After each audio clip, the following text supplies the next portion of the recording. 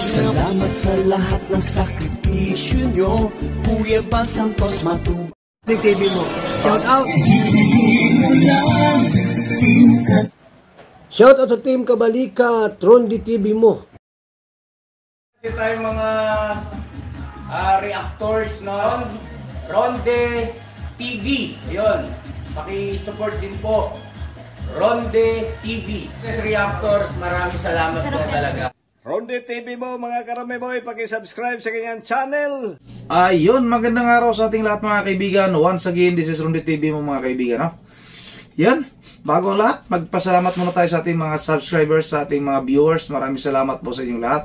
At sa mga hindi pa nakasubscribe, pasubscribe naman ang ating YouTube channel, Ronde TV mo mga kaibigan. Ito mga kaibigan, maikling ano lang to mga kaibigan. Maikling ah, reaction video at maikling video lang to tungkol kay Mark. Panoorin nyo muna ito. Ayan mo po, kagawa natin ang paraan ito. Dapat ni mag-usap itong mag-ina. Ah, si Mark at saka si Maylene. Ang heart to heart to. Mag-usap sila. No?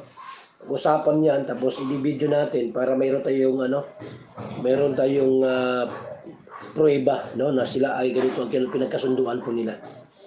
Ah, mga kalingap. Ito, yung gawin po natin. So, ah, alam ko po na kailangan ni Mark yung tulong po natin at maraming gustong tumulong din sa ta- batang yan.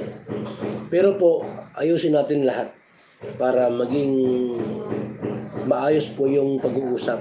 Ayun nga no mga kaibigan, sabi ni Idol Bal Santos Matubang na itong si Mark no, handa nilang tulungan no. Ah, kinausap niya na si ah, Kalinga Prab na ah, sunduin na to si ah, Mark no, pero talagang ah, idaan muna sa legal na paraan no mga kaibigan.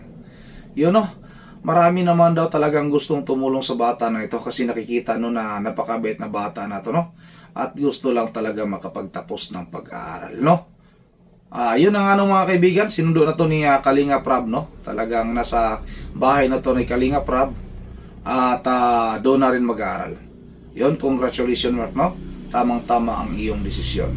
Yun ang mga kaibigan, hanggang dito na lang, no? At huwag natin kalimutan, isubscribe ulit ang mga YouTube channel nila, Idol Bal Santos Matubang, Kalinga Prab, Atid na Vlogs, ah, Kabisnis, Papa Dins TV, at Nestar 20 Boy Vlog mga kaibigan. At ang iyong lingkod, Rondit TV mo. Maraming salamat at God bless po sa ating lahat. Yun, uh, supportahan natin yung mga ka-business reactors. Ano po? Yes! Para po, ah, pag ah, gumanda yung kanilang YouTube channel, mas marami tayong katukatuwang, no?